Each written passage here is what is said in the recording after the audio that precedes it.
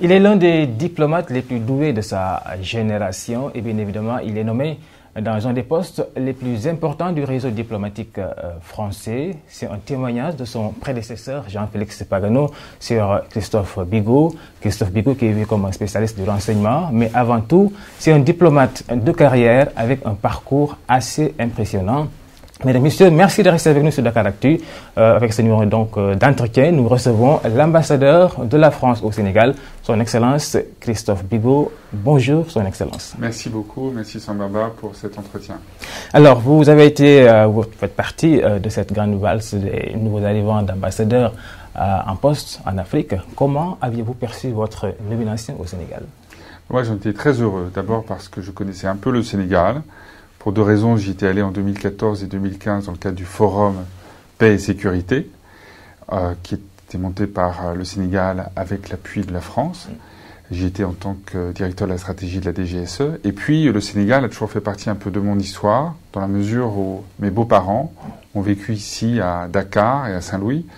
Mon beau-père était euh, professeur de mathématiques au lycée Van Vaux et il a beaucoup participé à la construction des pompes solaires. Il était un peu en avance sur son temps, c'était les années 60-70. Euh, et, donc il m'a beaucoup raconté, il m'a beaucoup parlé pendant 30 ans, depuis que je connais mon épouse, de ce que c'était pour lui le Sénégal. Euh, et donc voilà, ça fait un peu partie de l'histoire familiale. Tout à fait. Et, et puis évidemment, j'étais très heureux aussi pour une autre raison, parce que je sais l'importance des défis qu'il y a ici au Sénégal et l'importance pour la France et pour le Sénégal de notre relation. Mm. Donc j'étais assez fier de cette euh, nomination. D'accord. Et vous avez pris au Sénégal et à, presque un an depuis votre nomination. Neuf mois. Neuf mois. Voilà. Alors. Euh, je suis arrivé à la mi-juin. Mi-juin. Alors aujourd'hui, quel est le bilan de votre actif au Sénégal? Moi, j'ai essayé, en arrivant, de m'inscrire dans la lignée de mes prédécesseurs. Il y a eu ici une longue lignée d'ambassadeurs remarquables. Mm. J'ai essayé de faire ce que je sais faire de, mieux, c'est-à-dire mm. euh, d'aller sur le terrain pour avoir une compréhension fine du pays, pas seulement du, plateau, mm. pas seulement de Dakar ou du Grand Dakar, mais d'aller voir sur le terrain ce que ça voulait dire la vie euh, quotidienne des Sénégalais, ce que ça voulait dire aussi les projets que nous avions sur place ça peut être des projets très simples, ça peut être simplement la construction d'un château d'eau à Goudiri, ça peut être aussi un, projet risicole du côté de Matam ou ou ça peut être un projet d'établissement scolaire qui va remplacer ce qu'on appelle les abris euh, en Casamance.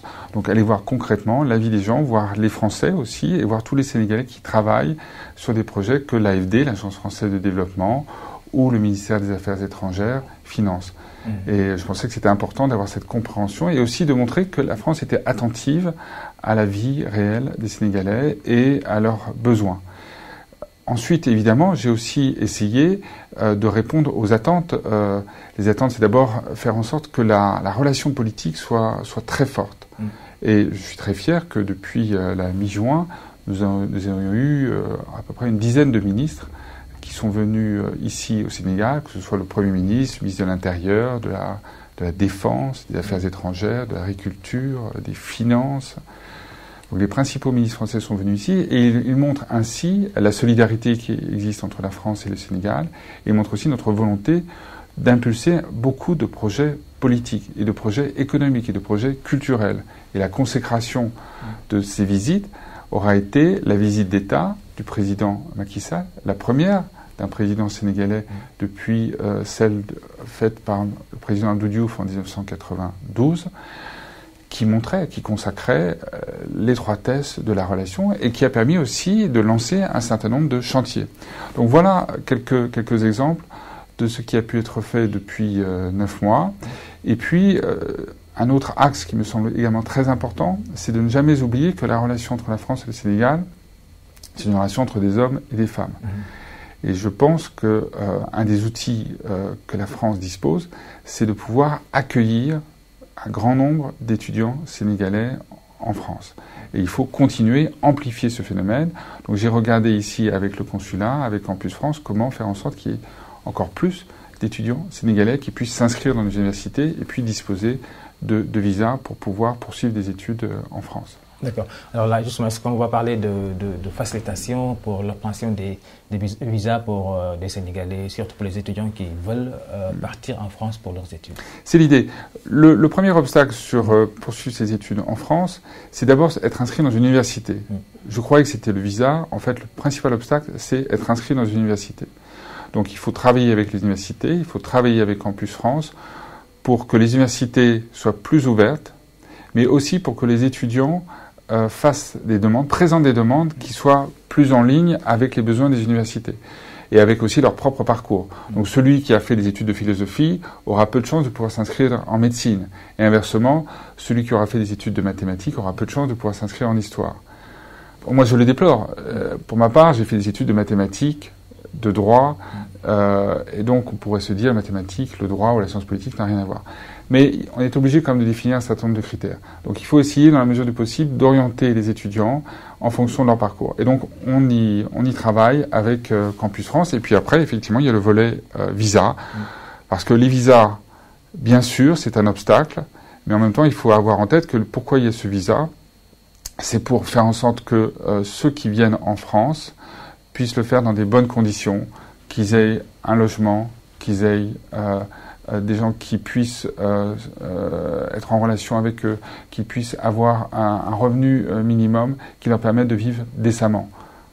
D'accord. Alors, à part l'éducation, y a-t-il d'autres secteurs clés dans la relation franco-sénégalaise?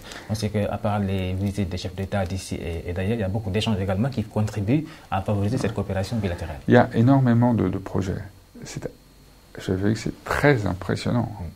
Quand je suis arrivé ici, je savais je l'ai dit à quel point la relation était forte, mais je ne mesurais pas à quel point la relation couvrait beaucoup, beaucoup, beaucoup de secteurs.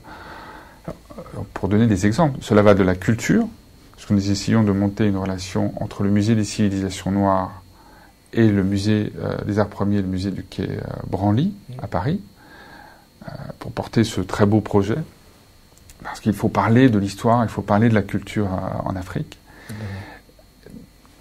Il faut des projets dans le secteur de l'éducation. Le secteur de l'éducation, je parlais tout à l'heure de construire des écoles. On pourrait aussi parler des constructions de, collèges et de lycées dans le Grand Dakar. Un grand projet de l'Agence française de développement. Mais il y a aussi, bien sûr, le contenu. Sur le contenu, par exemple, on vient de signer un accord avec le Conservatoire national des arts et métiers, qui, en France, est un peu la star dans le domaine de la formation professionnel, euh, technique, et qui va euh, ici, euh, avec des élèves et des professeurs sénégalais et des professeurs français, monter des structures pour répondre aux besoins en termes de formation. Je prends le cas de la formation, mais je pourrais prendre aussi le cas de l'eau. L'eau, avec le développement du Grand Dakar, et on sait ce qui s'est passé, la crise qui a eu lieu il y a quelques années, et j'étais heureux que l'AFD puisse y répondre très rapidement eh bien, nous, travaillons et nous avons signé un, très grand projet qui s'appelle KMS3, qui vise à, augmenter considérablement l'eau qui pourra être apportée du lac de Guier, dans le nord du pays, vers, vers le Grand Dakar.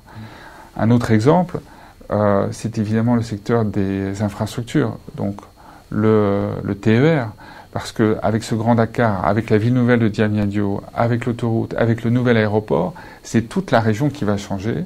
Et donc il est indispensable pour le Grand Dakar d'avoir des transports publics organisés. Donc le TER, c'est un élément essentiel. Il y aura d'autres éléments. Il faut aussi des bus qu'on appelle les BRT, des bus de euh, transport rapide.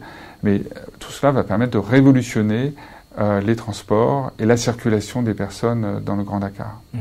Alors le Sénégal fait partie de ces pays qui bénéficient de l'aide au, développement. Alors quels sont les secteurs prioritaires? La secteur prioritaire, c'est ce que je viens de dire, c'est-à-dire qu'il y a l'éducation. Je n'ai pas parlé de la santé. La santé, c'est important.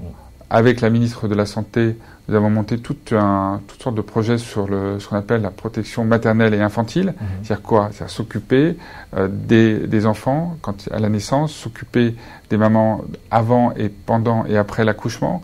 Donc en développant, en développant des, des, centres pédiatriques, en développant des hôpitaux. Donc ça, c'est un axe très important. La santé. Euh, vous avez un axe sur l'éducation, euh, aussi bien sur la construction que sur le contenu des, programmes. Vous avez un axe qui est sur le transport urbain. Vous avez un développement sur l'eau. Et puis, je n'en ai pas parlé, il y a l'énergie. Car on le sait ici au Sénégal, un des freins au développement de petites ou de grandes industries, c'est euh, l'accès à une énergie, je dirais, de bonne qualité à un coût euh, raisonnable. Et donc il y a eu un gros effort qui a été fait sur la production. Mm. Proparco, qui est une filiale de l'AFD, a financé euh, la construction de centrales solaires. Et nous sommes en, en contact étroit avec la Sénélec pour améliorer ce qu'on appelle la distribution et le transport, parce qu'une fois que vous avez produit l'électricité, il faut pouvoir l'amener jusqu'à l'entreprise ou jusqu'au consommateur. Donc voilà quelques axes importants de notre coopération avec euh, le Sénégal. Et puis il y a un axe dont on parle peut-être moins, qui est aussi un axe essentiel et qui est incarné par ce forum paix et sécurité qui a été présidé par le président Macky Sall et monté par euh, notre mon ami Manker Diaye avec Jean-Yves Le Drian, le ministre de la Défense, mmh. c'est tout le volet coopération sécuritaire que ce soit entre les armées françaises et sénégalaises, police, gendarmerie et services de renseignement. Mmh. C'est important dans le monde dans lequel on vit aujourd'hui il est essentiel de favoriser la coopération, euh, non seulement régionale, mais aussi euh, intercontinentale, pour euh, pouvoir prévenir mm. les dangers. Et cette coopération, je dois dire, est remarquable. D'accord. Alors, parlant de sécurité, la France elle est quand même présente dans beaucoup de conflits. Alors, aujourd'hui, comment évaluez-vous, disons, cette présence militaire de la mm. France, que ce soit dans les pays quand même touchés par une certaine crise? Moi, je suis assez fier. Hein. Euh, parfois, il faut être modeste, mais parfois, la modestie n'est pas de mise. Euh, je suis assez fier de cette présence française. Euh, nous avons accepté de risquer la vie de nos soldats sur le continent africain, sur d'autres continents aussi, mais sur le continent africain notamment. Nous avons 4000 hommes dans le dispositif qu'on appelle Barkhane. Nous avons eu des morts, de nombreux morts, et nous l'avons fait par esprit de solidarité et par aussi esprit de responsabilité. Euh, Solidarité parce qu'une très longue histoire nous lie à l'Afrique, responsabilité parce que nous savions que si nous n'intervenions pas, il y avait un risque très grave de déstabilisation, en l'occurrence, prenons le cas du Mali, déstabilisation du Mali et déstabilisation de l'ensemble de la région. Euh, nous n'intervenons pas seuls, nous intervenons aux côtés de nos amis africains, et moi je suis très, très heureux que le Sénégal notamment constitue une force très importante euh, au Mali et qui va être encore renforcée dans le cadre de ce qu'on appelle la mission des Nations Unies au Mali, la MINUSMA, mmh.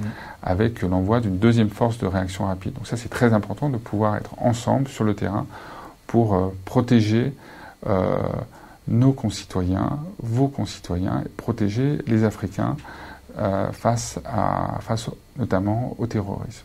Alors la sécurité, la paix, c'est important pour la stabilité d'un pays. Mm. Alors récemment, on a vu l'implication du chef de l'État, Macky Sall, dans la crise gambienne. Mm. Alors vous, en tant qu'ambassadeur de la France, de manière décalée, comment vous avez apprécié cette démarche du chef de l'État mm. pour euh, la résolution de la crise gambienne?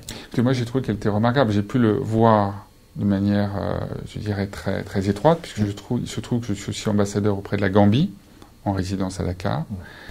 Et donc j'ai pu nouer des, liens euh, assez étroits avec le président Barrault, euh, président Barrault que j'ai accompagné en France, qui a fait sa première visite en dehors du Sénégal en France. Je pense qu'il y avait là un signe qu'il avait particulièrement apprécié, le soutien que François Hollande a apporté euh, aux initiatives de la CDAO, aux initiatives du président Macky Sall, pour soutenir le président Barrault dans une cette phase difficile où il fallait à la fois combiner le dialogue, l'envoi d'émissaires de très haut niveau à Banjoul, pour convaincre M. Djamé de se retirer, d'accepter le résultat des élections. Donc il fallait de la, de la capacité diplomatique, mais il fallait aussi de la détermination. Certain.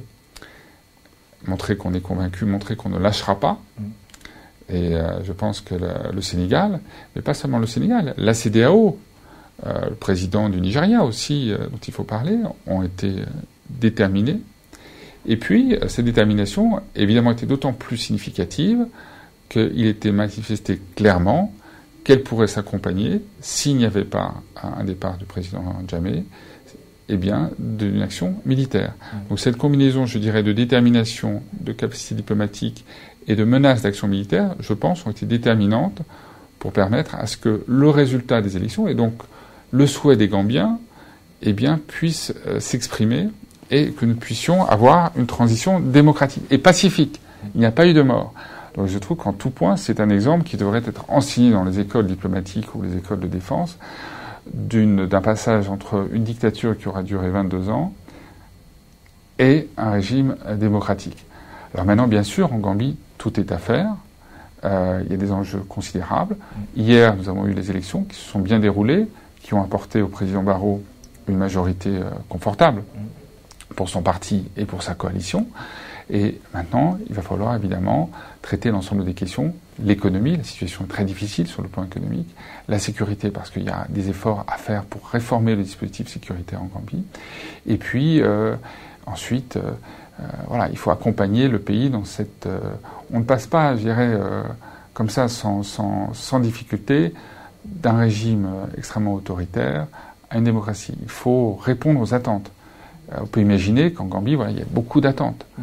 Euh, toutes ces attentes ne pourraient pas être satisfaites en un jour. Voilà. En tout cas, la France, elle l'a dit euh, lorsqu'elle a reçu le président euh, Barrault il y a trois semaines, elle sera aux côtés de cette démocratie naissante. Parce que c'est important, c'est pas seulement important pour la Gambie, c'est important bien sûr pour le Sénégal. Mm.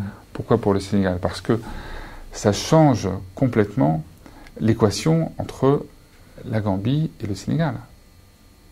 Cette relation, on sait qu'elle a été difficile. Hein. Mm. il y a eu des phases de tension nombreuses.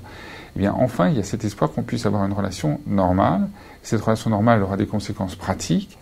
Le développement euh, économique euh, des zones proches de la Gambie, et notamment de la Casamance, le désenclavement de la Casamance en permettant un trafic euh, routier normal, le pont, un ferry avec des horaires réguliers, etc. Et puis aussi, bien sûr, la sécurisation. il y a encore des coupeurs de route, il y a encore des mines, il y a encore des, difficultés le long des frontières. Et donc, ce nouveau régime démocratique en Gambie va permettre de, résorber ces, problèmes, de les traiter. Donc voilà, je pense, une, très belle nouvelle, une très bonne nouvelle. Et je suis content et très fier que le, Sénégal ait pu euh, être euh, avec les membres de la CDAO, le Nigeria, être un fer de lance de cette, de cette action. C'est un message aussi pour l'Afrique de l'Ouest, où aujourd'hui la plupart des régimes mmh. sont des régimes démocratiques, issus d'alternance, ça montre que l'Afrique de l'Ouest est en avance par rapport au reste de l'Afrique. Et c'est un régime, et c'est aussi un message pour l'ensemble de l'Afrique. De voir que, euh, voilà, 25 euh, ans après cette fameuse conférence de la Baule, eh bien, les principes démocratiques commencent à prendre racine. Alors, au Sénégal, euh, vous avez cette expérience depuis beaucoup plus longtemps. Vous avez en quelque sorte fait école.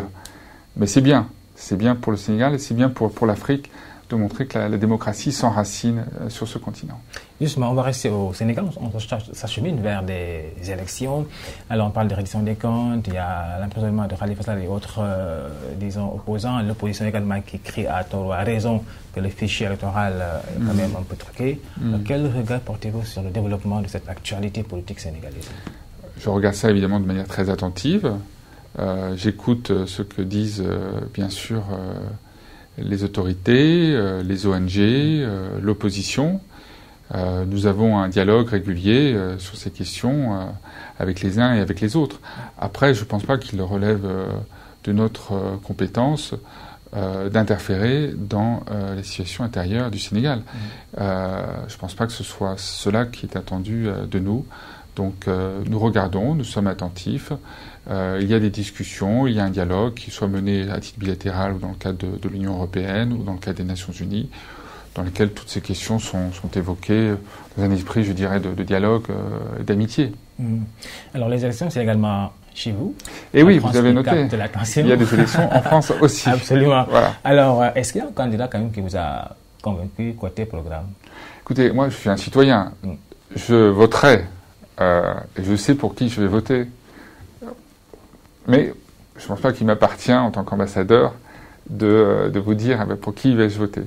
Mais euh, ce que je note pour cette élection, qui été pleine de rebondissements, c'est un feuilleton euh, digne des meilleures séries américaines, ce que je note, c'est que c'est un changement d'époque. Changement d'époque parce que d'abord, il y a une offre politique extrêmement large. auparavant, nous avions un choix qui était plus binaire. Là, on a une offre politique euh, qui est très large, de l'extrême gauche à l'extrême droite.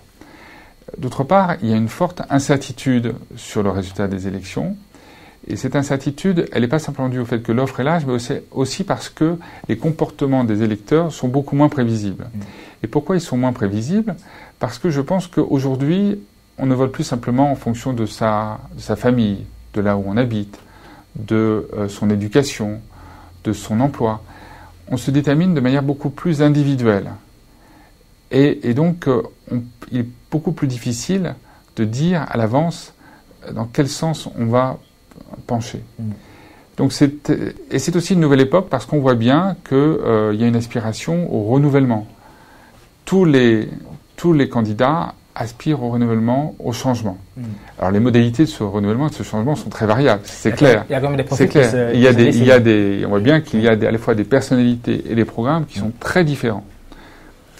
Mais ce sera intéressant effectivement de voir un peu comment tout cela va se cristalliser. Mm.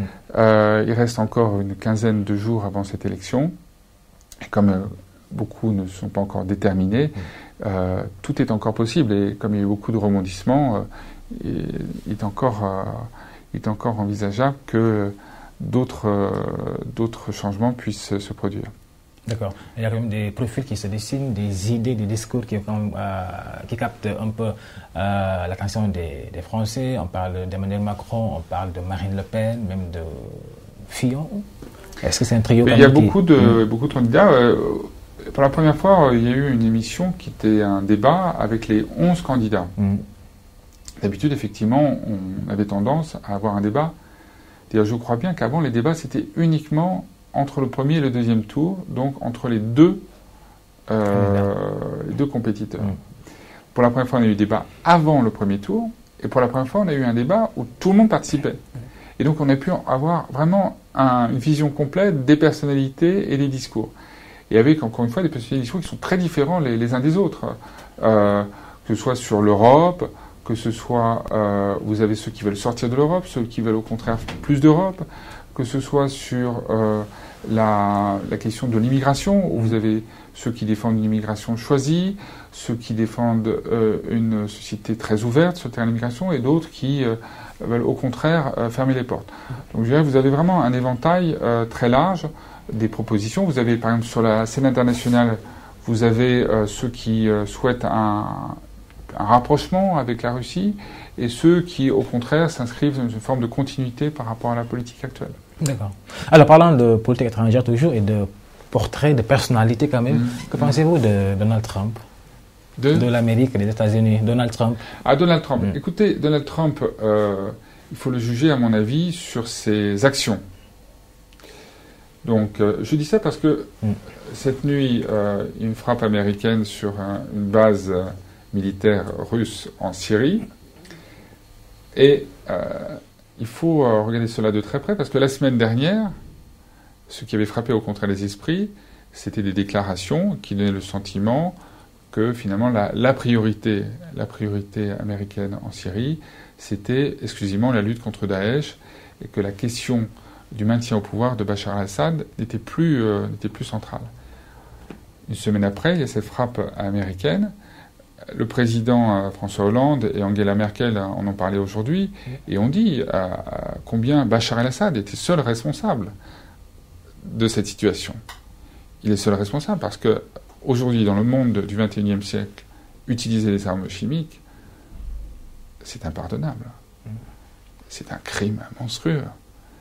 Et euh, il est bon, effectivement, qu'on puisse réagir en 2013, lorsque déjà l'armée syrienne avait utilisé des armes chimiques, nous avions souhaité qu'une intervention militaire puisse avoir lieu. Mm. À l'époque, malheureusement, le Royaume-Uni et euh, les États-Unis euh, n'ont pas souhaité euh, donner suite à ce, souhait. Mm. Et donc, qu'aujourd'hui, quatre ans plus tard, après le recours à nouveau des armes chimiques, il y a eu cette, frappe. Je pense que c'est une, euh, c'est une action tout à fait légitime. Alors, euh, ce qu'il faut, c'est au-delà de cette action légitime, c'est euh, effectivement construire un chemin pour trouver une solution à cette guerre en Syrie qui dure quand même depuis 2011. et qui a provoqué des centaines de milliers de morts et qui déstabilise l'ensemble du, Moyen-Orient.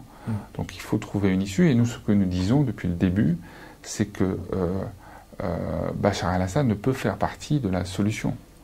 Euh, ne serait-ce que d'un point de vue moral, et ce cette bombardement chimique, des, des dizaines d'enfants ont été tués, dans une souffrance absolue, d'un point de vue moral, mais aussi d'un point de vue politique, parce que l'opposition en Syrie jamais n'acceptera de faire comme si rien ne s'est passé.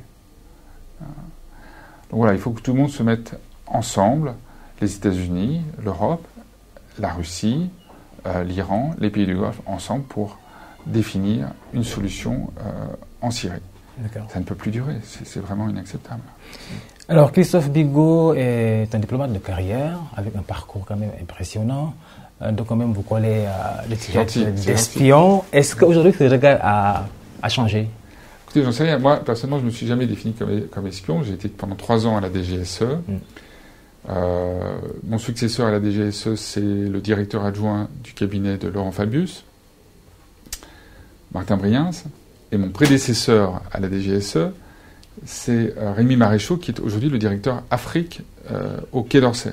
Je dis ça pour simplement signaler que ce poste que j'ai occupé a toujours été occupé par un diplomate depuis 1990, depuis qu'il a été créé. Et pourquoi c'est occupé par un diplomate? Parce que l'idée est de faire en sorte que la DGSE s'intègre dans l'appareil international, développe des relations à l'international, et aussi que la DGSE soit parfaitement imbriquée dans l'appareil d'État avec le ministère de la Défense, le Quai d'Orsay et d'autres ministères. D'où la création de ce poste. Moi, j'étais très heureux sur place pendant ces trois ans, parce que c'est une, une organisation remarquable, la DGSE, avec beaucoup de moyens, et puis ça permet aussi de bien comprendre les enjeux de sécurité. Je crois qu'aujourd'hui, dans le monde dans lequel on vit, comprendre comment travaillent les terroristes, ceux qui diffusent euh, des agents chimiques ou biologiques, euh, ceux, tous les trafiquants, savoir comment euh, faire pour lutter contre eux, je pense que c'est une, connaissance essentielle. Donc moi, je suis très fier d'avoir travaillé à la DGSE. J'y ai travaillé trois ans et j'ai travaillé comme diplomate. Je suis rentré au Quai d'Orsay en 1992 on est en 2017, donc ça doit faire, faire 25 ans que je suis euh, payé par le Quai d'Orsay. Et euh, c'est une maison que j'aime bien, qui correspond à mon parcours, euh, mon amour à la fois de, l'histoire, de la géographie et des questions internationales. Donc je... Après, le regard des autres, vous savez, il ne m'appartient pas. mais moi, je pense que dans un parcours, de même manière que c'est utile d'avoir une expérience d'ingénieur, moi, fondamentalement, je suis un élève de l'école polytechnique, mes années au lycée et juste après ont été euh, d'abord consacrées à l'étude des mathématiques, de la physique.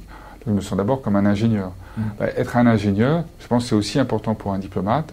Ça permet de mieux comprendre les enjeux en termes de développement. Ça permet de ne pas se perdre dans les chiffres. Ça permet d'avoir une vision de la longue durée. Puis je pense aussi que ça aide à avoir un raisonnement rationnel, organisé. Donc cette expérience d'ingénieur, c'est utile. Vous voyez, on se construit à partir d'expériences. Mmh mais on ne peut pas être réduit à une catégorie. Et euh, pour ce qui est de la France, euh, euh, que je sers depuis 25 ans, je l'ai servi au Quai d'Orsay, je l'ai servi trois ans à la DGSE, et je la sers, je trouve, c'est difficile de le dire, mais en tout cas, moi, je, le, je, le, fais avec beaucoup de bonheur depuis, depuis la mi-juin, et je trouve que les choses avancent, les choses progressent. il y a eu beaucoup de euh, je le disais, il y a eu beaucoup de visites, il y a eu beaucoup de projets qui ont, été, qui ont pu être financés, euh, et on va continuer dans ce sens-là pour essayer d'être au plus proche euh, du terrain. Mmh. Il y a une formule en, en Wolof que j'avais retenue, qui je crois que c'est Mungi d'or, mmh. qui, qui permet... Hein Mungi d'or. Voilà, Mungi d'or. Mmh.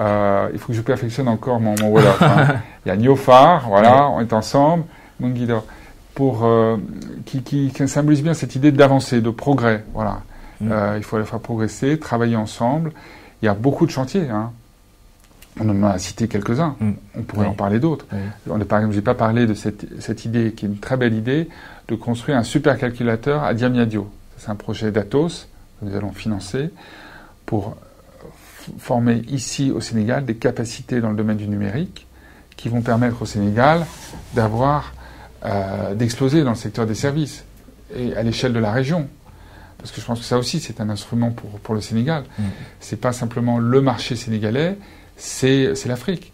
Et aujourd'hui, dans le monde mondialisé où on est, on peut très bien développer ici euh, des logiciels qui seront vendus à Singapour ou ailleurs. Donc il faut mm. intégrer ces dimensions. Donc par exemple, ce supercalculateur, c'est aussi un très bel, un très bel instrument. Si on parle de Total, par exemple, mm. alors on parle, on pense à la distribution, on pense au raffinage. Mais Total, par exemple, a donné son accord pour lancer un programme d'exploration d'exploration à la fois sur ce qu'on appelle l'ultra deep offshore et, euh, aussi euh, sur des zones plus proches. Donc, ça veut dire qu'ils ont confiance euh, sur la longue durée, qu'ils sont prêts à investir des sommes qui, avec évidemment les aléas de l'exploration, il y a beaucoup d'incertitudes, mmh. mais c'est sur la longue durée, c'est sur 20 ans, 30 ans et plus. Voilà, c'est quelques exemples pour montrer la, diversité de, l'action. Mmh. Et un autre exemple aussi que quand je suis arrivé ici, euh, quelques jours après, euh, j'ai voulu aller à Tiaroy. Parce que j'avais compris que dans la longue histoire que nous avons ensemble, 350 ans d'histoire, il y avait eu des événements douloureux. C'est clair. Tiaroy faisait partie de ces éléments douloureux. Mm. Donc j'ai voulu aller me recueillir au cimetière. Je l'ai fait tout seul. Hein. Il n'y avait, pas de, il avait pas de médias, il n'y avait personne. J'ai rencontré le gardien, voilà. Et euh, j'étais très heureux après quand le ministre des Affaires étrangères euh, français, Jean-Marc Ayrault, est venu. Il a souhaité venir à Tiaroy dans le cadre des cérémonies dites du 11 novembre mm. euh, pour participer au recueillement, rappeler le sens que nous donnions à cet événement. Et de la même manière, un grand navire militaire français, le Dixmude, est venu ici dans les eaux de Dakar, dans le port de Dakar, et nous avons organisé une grande manifestation pour rendre hommage aux tirailleurs sénégalais, dont on sait d'ailleurs qu'ils étaient sénégalais, mais aussi maliens, burkinabés, puisque c'était l'ensemble de, l'Afrique. Mm. Et je pense aussi c'est important d'avoir cette conscience historique. Quand on dit qu'il euh, y a des soldats français et euh, sénégalais qui sont ensemble au Mali, il faut aussi l'inscrire dans l'histoire. Nous avons aussi été ensemble pendant la Première et la Deuxième Guerre mondiale.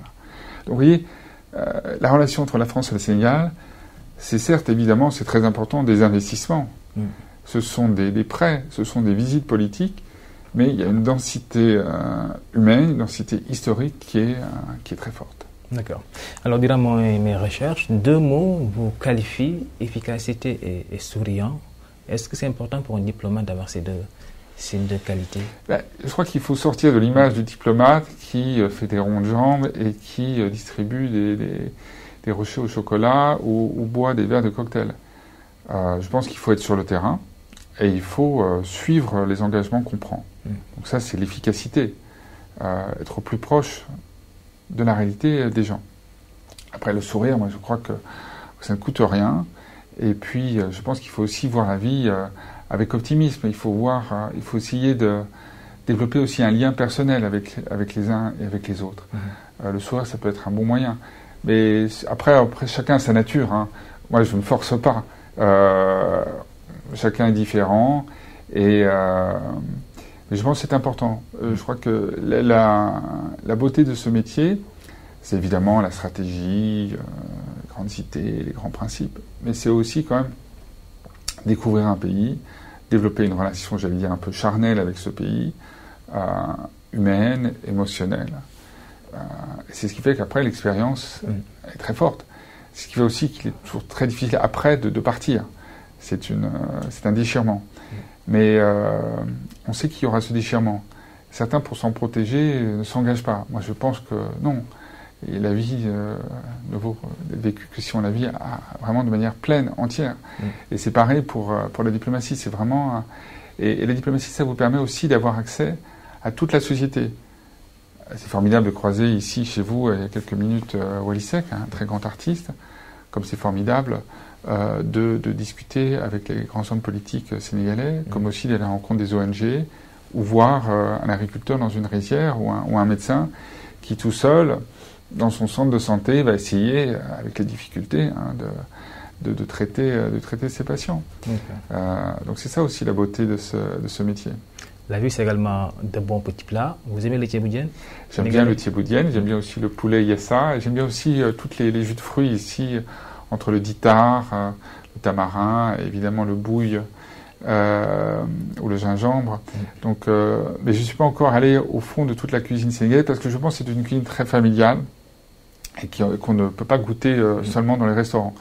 Donc dans mes déplacements, que ce soit sur le fleuve ou en Casamance ou à Saint-Louis, j'ai essayé aussi de goûter la, la cuisine sénégalaise. Euh, voilà, mais j'ai encore des, des, progrès à faire. On a, dans le domaine de la cuisine, j'ai un grand projet, c'est d'essayer de marier un peu la cuisine sénégalaise et française. On a fait un événement qui s'appelait Goût de France il y a quelques jours, mmh. où il y avait euh, de très bons restaurants ici au Sénégal qui euh, ont fait une gastronomie de, de, très grand niveau, de très grande qualité. Mais je veux essayer de marier cette gastronomie-là avec la cuisine sénégalaise. Alors déjà, on utilise beaucoup de plats sénégalais. On utilise beaucoup de, de, de, produits sénégalais, que ce soit des produits bio, que ce soit du zébu, euh, que ce soit du gingembre. Euh, bon, il faut encore aller plus loin. Et je crois qu'il faut aussi développer les échanges entre les écoles hôtelières ou de restauration françaises et sénégalaises, entre les chefs français et sénégalais.